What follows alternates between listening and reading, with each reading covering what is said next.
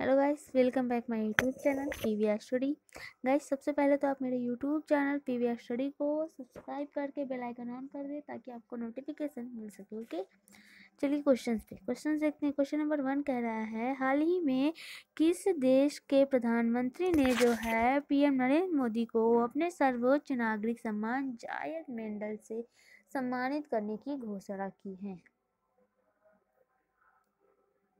Iran, Afghanistan, Turkmenistan या फिर संयुक्त अरब अमीरात। फोर ऑप्शन है स्क्रीन पे देखिएगा, कौन सा सही है, आप बताइए जल्दी से कमेंट करके। देखो, इसका आंसर आपको हम ही बता देते हैं। इसका आंसर है संयुक्त अरब अमीरात। जी। प्रधानमंत्री नरेंद्र मोदी को जो है, यह सम्मान भारत और यूएई के आपसी संबंध को मज़बूत करने के लिए दिया गया है। हाल ही में किस राज्य में 32 साल बाद आंशिक रूप से अक्सपा हटाया गया? अरुणाचल प्रदेश से बिहार, झारखंड या फिर पंजाब? कौन सा ऑप्शन सही है जल्दी से बताइए। देखो, इसका आंसर है अरुणाचल प्रदेश। जी हाँ Arunachal Pradesh, okay? A, F, S, P, A. Armed forces special power act यानी कि सशस्त्र बल विशेषाधिकारी अभिनियम यानी आक्सपा देश की सांसद द्वारा 1958 में पारित किया गया है। यह एक कानून है जिसके तहत हमारे सुरक्षा बलों को संबंधित क्षेत्र में कार्रवाई संबंधित विशेषाधिकार प्रदान किए जाते हैं। हाल ही में देखो थर्ड नंबर हाल ही में किस अंतर्राष्ट्रीय संगठन में mind the gap state of employment नामक रिपोर्ट जारी की गई है? फोर ऑप्शन है, विश्व बैंक पोप्स ऑक्सफैम या फिर जॉनसन कौन सा सही है? देखो, हम आपको बता दें ऑक्सफैम जी हाँ ऑक्सफैम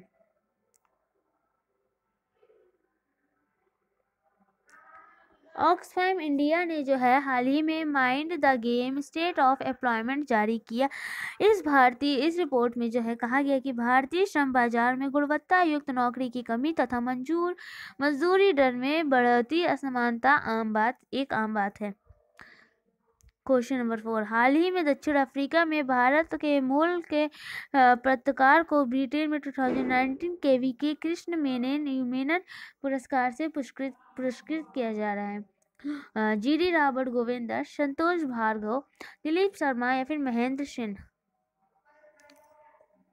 फोर ऑप्शन है, कौन सा सही है? आप कमेंट करके जल्दी से बताइए। देखो इसका answer, G D Robert Govinder. जी हाँ जी डी रॉबर्ट गोविंदर यानी कि ऑप्शन नंबर ए।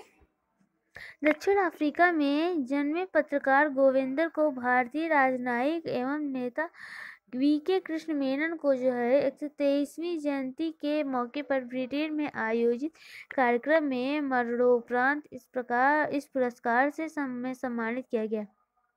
फाइव हाल ही में राष्ट्रीय रामनाथ कोविंद किस स्थान फ्रीडम फाइटर के लिए एट हिम रिसेप्शन में मेजबानी की है?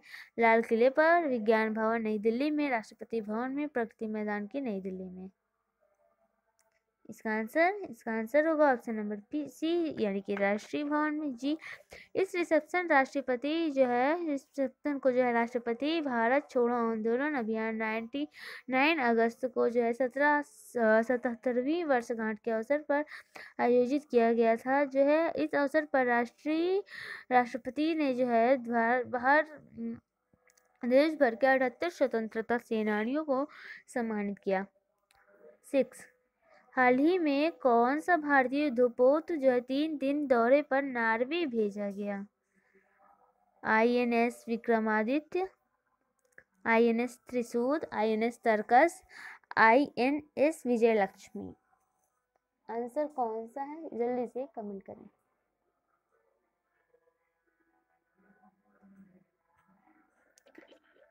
आईएनएस तरकस, जी हाँ आईएनएस तरकस। भारतीय योजना युद्धपोत तरकस ने जो है 9 अगस्त 2019 को नार्वे के बर्गन बंदरगाह में प्रवेश किया। भारतीय नौसेना का यह युद्धपोत जो है आईएनएस तस्करी पश्चिमी बेड़े ओवरसीज परिनियोजन 2000 दो तारीख 2019 को एक अंग के रूप में नॉर्वे की तीन दिवसीय यात्रा पर हैं। अब नेक्स्ट क्वेश्चन देखिए क्वेश्चन नंबर सेवन इम्पोर्टेंट है जो है, कौन से भारतीय क्रिकेट प्रथम श्रेणी में दोहरा शतक लगाने वाले सबसे कम उम्र के भारतीय क्रिकेटर बन गए?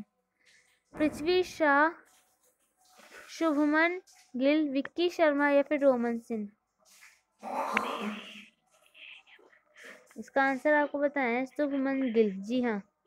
शुभमन गिल। हाल ही में इंडिया ए टीम के बल्लेबाज Shubman Gill West West West Indies A team के खिलाफ जो है आयोजित टेस्ट मैच में दोहरा शतक लगाकर प्रथम श्रेणी में दोहरा शतक लगाने वाले प्रथम सबसे कम उम्र के भारतीय क्रिकेटर बन गए। सुमन ने केवल 19 साल में 334 दिन की उम्र में यह जो है कारनामा किया। इसके पहले वह पूर्व भारतीय बल्लेबाज गौतम गंभीर ने जो है 2002 में जिम्बाब्वे के खिलाफ 20 साल 124 दिन की उम्र का रिकॉर्ड बनाया। प्रधानमंत्री मोदी 17 अगस्त को किस देश के लिए दो दिवसीय दौरे पर जाएँगे? भूटान, जापान, चीन या फिर नेपाल? इसका आंसर आपको बताएँ, इसका आंसर है भूटान। जी हाँ ऑप्शन नंबर बी। प्रधानमंत्री नरेंद्र मोदी जो है, सत्रह से अठारह अगस्त तक भूटान के दो दिवसीय दौरे पर जाएँगे। इस यात्रा के दौरान जो है, दोनों द्विपक्षीय संबंधों सहित हितों से जो है, जुड़े विविध विषयों को पर जो है, चर्चा करेंगे। विदेश मंत्रालय ने के अनुसार प्रधानमंत्री नरेंद्र मोदी, भूटान के प्रधानमंत्री डॉक्टर लोटे सोरिंग के आमंत्रण पर वहाँ जा रहे हैं। Nine question number nine Bharat की पहली निजी भागीदारी से चलने वाली ट्रेन कौन सी है? Tejas Express, Yamuna Express, Kashi Express या फिर रामायण एक्सप्रेस?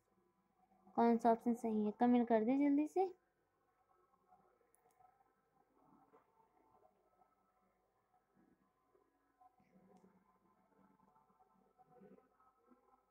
देखिए इसका आंसर आपको बता दें, तेजस एक्सप्रेस। जी हाँ Tejas Express, option number Tejas Express train जो है लखनऊ से दिल्ली के बीच चलाई जाएगी सितंबर 2019 में। इसका संचालन शुरू होगा। तेजस एक्सप्रेस पहली ऐसी ट्रेन होगी जिसका परिचालन निजी संचालक करेंगे। देखो एक अप्रैल को इसरो द्वारा P S L V C fourteen raw forty five rocket से कितने विदेशी नैनो सैटेलाइट अंतरिक्ष में भेजे गए हैं? बीस, पच्चीस, सत्ताईस या फिर अट्ठाईस? देखो, इसका आंसर आपको बता दें, अट्ठाईस, यानी कि ऑप्शन नंबर डी सही है, ट्वेंटी एट। जी। जो है, स्थान आंध्र प्रदेश, श्रीहरिकोटा सतीश धवन स्पेस जो है सेंटर एक अप्रैल को इसरो और से, की ओर से P S L V C forty five को लॉन्च किया गया, जिसमें डी आर डी ओ की जो है और से तैयार इमेसट जो है, को भेजा गया, यह अंतरिक्ष में भारत के सर्विलांस को मज़बूत करेगा।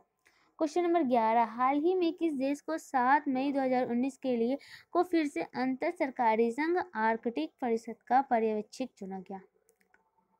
भारत, नेपाल, चीन या फिर रूस? इसका आंसर देखो, आपको बता दें। इसका आंसर है भारत, यानी कि India.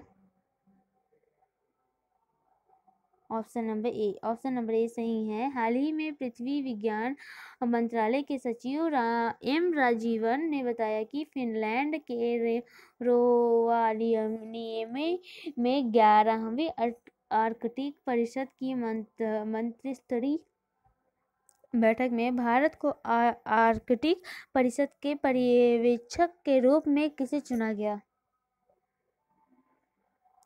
बारह। हाल ही में Cholamandalam S S general insurance company limited के साथ एक कॉरपोरेटर एजेंसी का समझौता किया। S B I P N B bank, Indian bank या फिर बी ओ बी बैंक?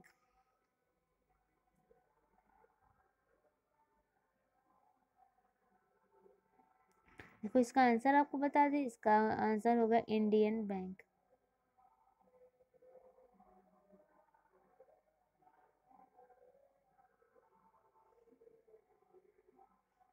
इस समझौते के तहत जो है मोटर, घर हेल्थ यात्रा, बीमा और एसएमई के व्यवसाय की वाणिज्य लाइन आदि को जो है सभी उत्पादों इंडियन बैंक ग्राहकों को पारंपरिक और डिजिटल प्लेटफॉर्म के माध्यम से वितरित किया जाएगा। थर्ड सॉरी थर्टीन विश्व अस्थमा दिवस 2019 किस तिथि को मनाया जाता है। पाँच मई को, सात मई को, आठ मई को या फिर नौ मई को।